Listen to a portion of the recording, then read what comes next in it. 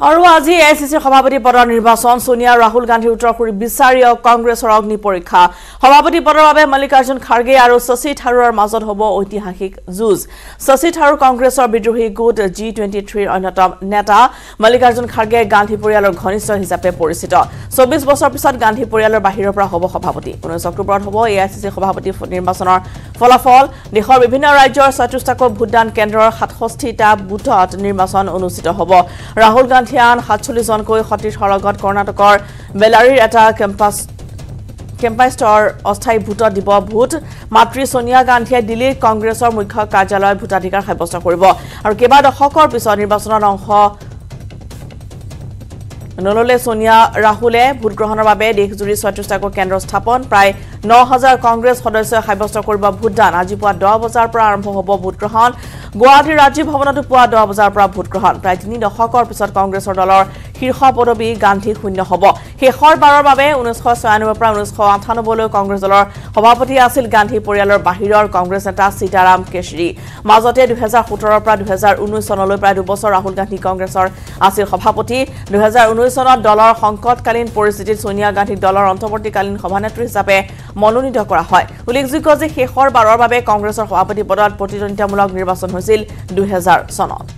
আৰু আজি এখন ঐতিহাসিক যুঁজ হ'ব যিহেতু আৰু এই মুহূৰ্তত আমাৰ সতীৰ্থ সাংবাদিক মৌচুমী শৰ্মা বৰুৱা আছে পোনপটীয়া সম্প্ৰচাৰ মৌচুমী আমি আপোনাৰ কাষলৈ আৰু আজি দেখিবলৈ পোৱা গৈছে যে এ আই চি চিৰ সভাপতি পদৰ নিৰ্বাচন অনুষ্ঠিত হ'ব আৰু ইতিমধ্যে সমগ্ৰ দেশৰ লগতে গুৱাহাটী মহানগৰীৰ ৰাজীৱ ভৱনতো যি ভোটাধিকাৰত অংশগ্ৰহণ কৰিব কংগ্ৰেছৰ কেইবাগৰাকীও শীৰ্ষ নেতাই আপোনাৰ পৰা সবিশেষ জানিব বিচাৰিছোঁ আৰু কেই বজাৰ পৰা হ'ব এই ভোটগ্ৰহণ কি পৰিৱেশ এই মুহূৰ্তত?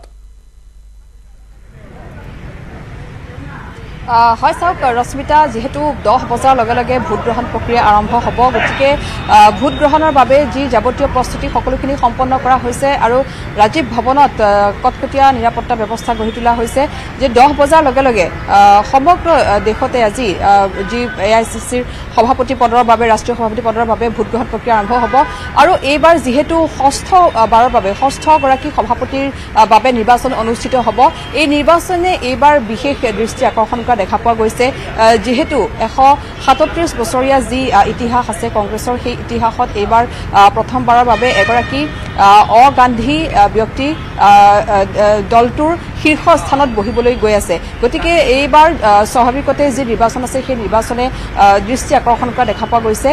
আৰু এটা কথা ক'ব লাগিব যে যিহেতু চৌব্বিছ বছৰীয়া চৌব্বিছ বছৰতকৈ অধিক কালৰ পাছত দেখা পোৱা গৈছে যে এগৰাকী অগান্ধী অগান্ধী শীৰ্ষ নেতৃত্বত যিহেতু স্থানত বহিবলৈ গৈ আছে। গতিকে এই নিৰ্বাচনক কেন্দ্ৰ কৰি এইবাৰ যথেষ্ট এক উৎসাহ দেখা পোৱা গৈছে।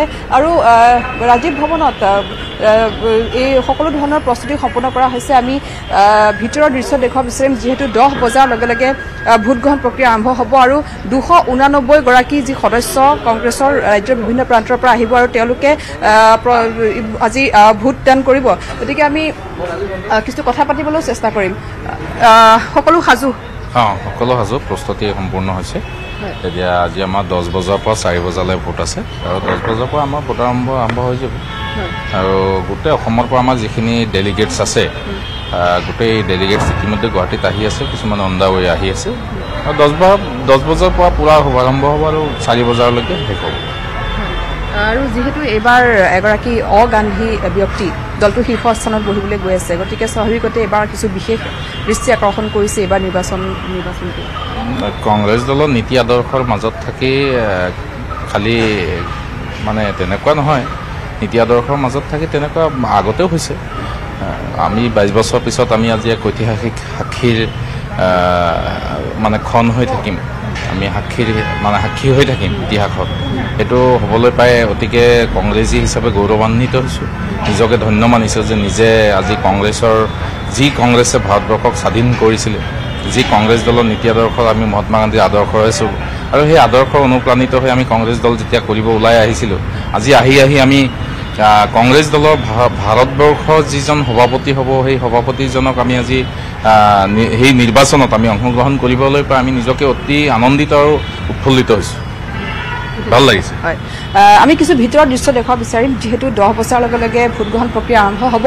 তাৰ বাবে সকলো যি প্ৰস্তুতি যাৱতীয় প্ৰস্তুতি সকলোখিনি সম্পূৰ্ণ কৰা হৈছে। যিহেতু বেলট পেপাৰ যোগে ভোট দিয়া হ'ব মই দেখুৱাব চেষ্টা কৰিম। দুটা নাম যিহেতু থাকিব দুগৰাকী প্ৰতিদ্বন্দ্বী মল্লিকাৰ্জুন খাৰ্গে আৰু শশী থাৰুৰ। সেই নামৰ বিপৰীতে এই ধৰণৰ শুদ্ধ চিন দিব লাগিব সদস্যসকলে যিসকল সদস্যই ভোট দান কৰিব। সেই এনেকুৱা ধৰণৰ শুদ্ধ চিন থাকিব আৰু তেওঁলোকে নামটোৰ বিপৰীতে সেই শুদ্ধ চিন এটা দিব লাগিব। আৰু সেই শুদ্ধ চিনটো দিলেই তেওঁলোকৰ যিটো ভোটদান সেই ভোটদান প্ৰক্ৰিয়া সম্পন্ন হ'ব। যিহেতু বেলট যোগে এই সম্পন্ন ভোট প্ৰক্ৰিয়াটো সম্পন্ন কৰা হ'ব। গতিকে সেই ধৰণে সকলো ব্যৱস্থা গ্ৰহণ কৰা হৈছে আৰু ভিতৰত যি প্ৰস্তুতি সেই প্ৰস্তুতি সম্পূৰ্ণ কৰা হৈছে। যাতে কোনো ধৰণৰ ইয়াত বেমেজালিৰ সৃষ্টি নহয় সকলোৱে ৰাজ্যৰ বিভিন্ন প্ৰান্তৰ পৰা যিহেতু সদস্যসকল আহিব তেওঁলোকে নিয়াৰিকৈ যাতে সকলো ধৰণৰ নিৰাপত্তাৰ মাজত যাতে থাকি ভোটদান কৰিব পাৰে আৰু সুকলমে ভোটদান প্ৰক্ৰিয়া সম্পন্ন হয় তাৰ বাবে সকলো ব্যৱস্থা গ্ৰহণ কৰা হৈছে। আৰু দুগৰাকী কংগ্ৰেছ দলটোৰ দুগৰাকী জ্যেষ্ঠ নেতা মল্লিকাৰ্জুন খাৰ্গে আৰু শশী থাৰুৰ এই দুগৰাকী মাজত তুমুল সেই প্ৰতিদ্বন্দ্বিতা হ'ব। গতিকে সেই দুগৰাকী ব্যক্তিৰ বেলট পেপাৰত নাম থাকিব আৰু তেওঁলোকৰ বিপৰীতে শুদ্ধ চিন দিলেই ভোটদান প্ৰক্ৰিয়া সম্পন্ন কৰা হ'ব। এতিয়া ভিতৰৰ আমি দৃশ্য দেখুৱাইছোঁ য'ত ভোট দিয়া হ'ব। আমি ভিতৰৰ দৃশ্য দেখুৱাইছোঁ ইয়াত সকলোখিনি। সাজু কৰি তোলা হৈছে। এই ধৰণে দুগৰাকীকৈ সদস্য ভিতৰত প্ৰৱেশ কৰিব পাৰিব। আৰু যিহেতু বেলট যোগে এই ভোটদান প্ৰক্ৰিয়া সম্পন্ন কৰা হ'ব তেওঁলোকে নিৰ্দিষ্ট সেই বক্সৰ ভিতৰত ভিতৰলৈ গৈ তেওঁলোকে বেলটত সেই দুটা নামৰ এগেইনষ্টত যোনে যাক ভোট দিব বিচাৰে সেই নামটোৰ বিপৰীতে তেওঁলোকে শুদ্ধ চিন দিব লাগিব আৰু তাৰ পাছতে তেওঁলোকৰ ভোটদান প্ৰক্ৰিয়া সম্পন্ন হ'ব। গতিকে সকলোখিনি ব্যৱস্থা ৰশ্মিতা অতি নিয়াৰিকৈ কৰা হৈছে সুন্দৰভাৱে কৰা হৈছে।